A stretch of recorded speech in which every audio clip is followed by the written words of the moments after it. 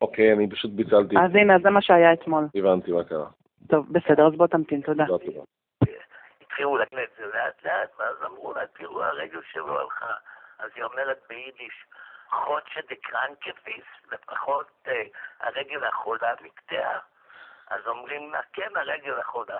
אז היא אמרה, הודו להשם כי טוב, כי לעולם חסדו. לפחות הרגל שדיברו שצריכים לקטוע אותה נקטעה. והוא חי עוד הרבה שנים אחרי כן, היום הוא כבר לא חי. יהודי ירושלמי מפורסם, אחד מהדמויות של ירושלים. אז הנה, קצת שמענו על היום ההוא לפני 47 שנים, היום בו בחירה ירושלים.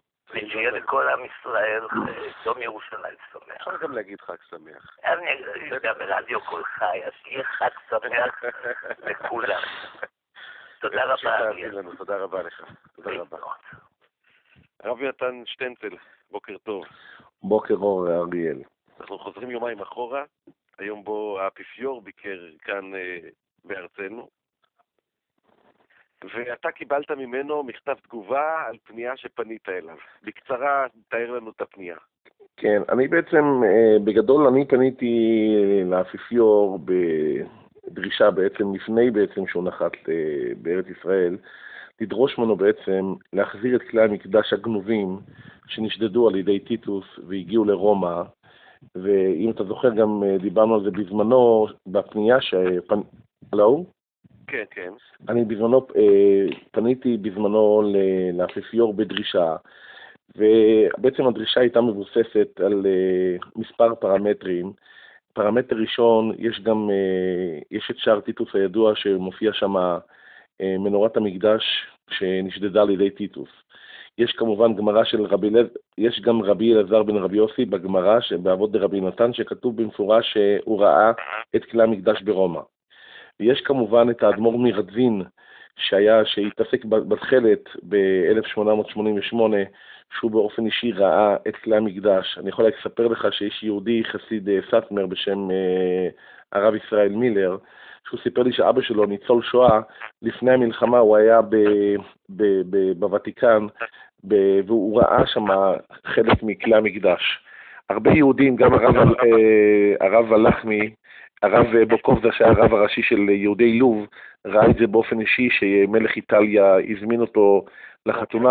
אתה אומר הרבה עדויות לכך ש, שברומא לפחות, גם אם לא בוותיקן, ברומא זה... לא, לא, לא, לא. העדויות, העדויות מדברות שבמרתפים אה, חסויים, אה, למטה, לא פתוחים לקהל, לקהל הרחב, נמצאים שם כלי המקדש, המנורה וציץ ו- ו- ופרוכת והרבה מאוד מכלי המקדש שהם פשוט עד היום הזה מסרבים אפילו לפתוח את זה לציבור, אפילו לצלם את זה.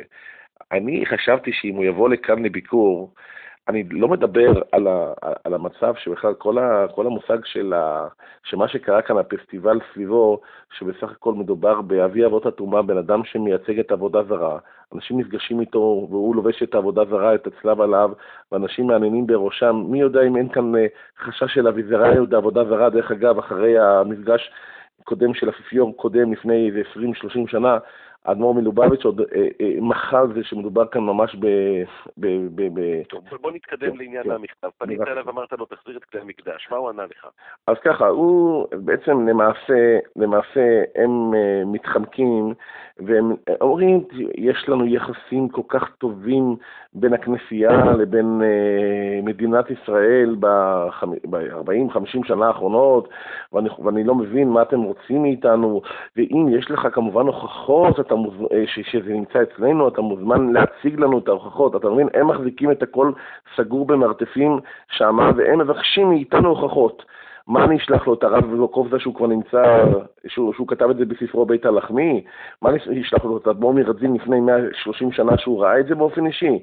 הרי זה נמצא אצלם, הרי כל ההוכחות נמצאים אצלם. בעצם התשובה שלו הייתה, תן, תן לי הוכחות שזה נמצא אצלנו, הוא לא הכחיש שזה נמצא, פשוט ביקש הוכחות. הוא אומר, אתה מוזמן לצרף לי את ההוכחות. עכשיו, מה, הרי את ההוכחות שלחתי לו, את, ה, את הציטוטים אה, אה, שלחתי לו, את הגמרא ציטטתי, הבאתי את הציטוטים, הבאתי את כל החומרים. דרך אגב, פרופסור שמעון שטרית, בזמנו שהיה שר הדתות, נפגש עם איזה פרופסור או דוקטור ברומא, והוא, שהיה בתוך הוותיקן במרתפים, והוא הדליף לו, ש... ואני שוחחתי עם פרופסור שמעון שטרית שהיה שר הדתות, והוא הדליף לו שהוא, שהוא יודע שכלי המקדש נמצאים שם.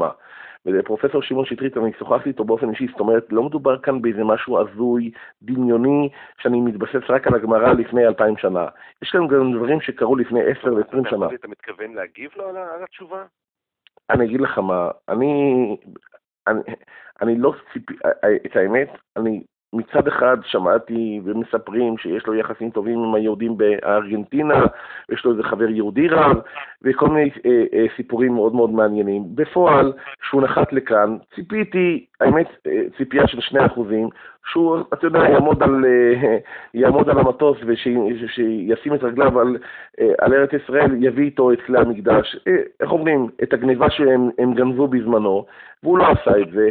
אני מתפלא קצת, על, האמת, אני מתפלא יותר על, על ראש הממשלה, מתפלל על, על ההנהגה הישראלית, שאת את קבר דוד המלך, הם עומדים להחזיר חלק מקבר דוד המלך לחזקת הנוצרים. ידוע והתפרסם שיש את החדר שהם קוראים... קצת גולשים כן, לעניין. כן, לגבי, כן. בוא נחזור לעניין כלי המקדש, אתה מתכוון להגיב לו על זה? אני אה, עדיין, אה, בוא נגיד ככה, אני לא חושב שלי, אני חושב שאני אני באופן אישי, כבן אדם פרטי, אני לא ממשלה ולא מדינה, אני לא חושב שיש לי יכולת נוספת אה, לפעול, לפעול יותר. אני חושב שכאן כבר קשור הלחץ הציבורי. שהציבור, אני חושב שגם חלק מהמאזינים שלך, לכל אחד ואחד מאיתנו, יש חלק. אני בסך הכל לא גורם רשמי, אני בסך הכל אזרח אה, במדינה יהודי, שכל אחד ואחד... כן. אני חושב, ואני חושב שאולי, אולי, אני יודע שיש לך הרבה מאוד מאזינים, ואני יכול להגיד לך שאני בטוח שאם יהיה לחץ ציבורי, גם על לשכת ראש הממשלה, להפעיל, להמשיך להפעיל לחץ על הוותיקן, ואולי בעקבות הביקור אה, לנסות לייצר כאן איזו דרישה יותר חד משמעית. אני חושב שאם הציבור, אני חושב שאם הציבור המאזינים שלך, דרך אגב, אני בדקתי, אם, רוצ, אם אתה רוצה אני יכול לתת לכם אפילו למאזינים שלך את מספר הפקס של לשכת ראש הממשלה, שיפנו, שיפעילו גם לחץ, כל אחד ואחד מאיתנו. מי שממש ירצה אה, לעשות זאת, אני מניח לך להשיג את זה. אנחנו מאוד מודים לך, הרב יונתן שטנצל, גם הניסיון הוא חשוב. תודה רבה לך. תודה רבה, שלום שלום. ועכשיו איתכם, הבוקר עם אריאל ברמן.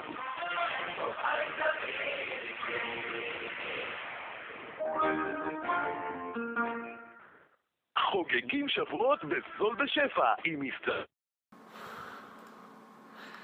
הגיע הזמן שהאפיפיור פרנציסקוס יחזיר את כלי המקדש לעם היהודי.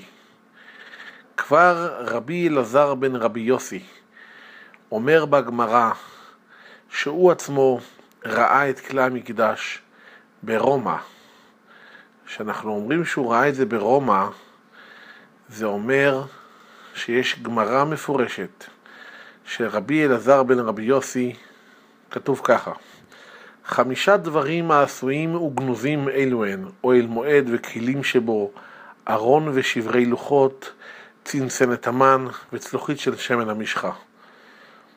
אבל מכתשת של בית אבטינס, שולחן, זה אומר ששולחן הפנים, מנורה ופרוכת, פרוכת זה של קודש הקודשים, וציץ, שכמובן הכהן הגדול היה לובש, עדיין מונחים ברומי.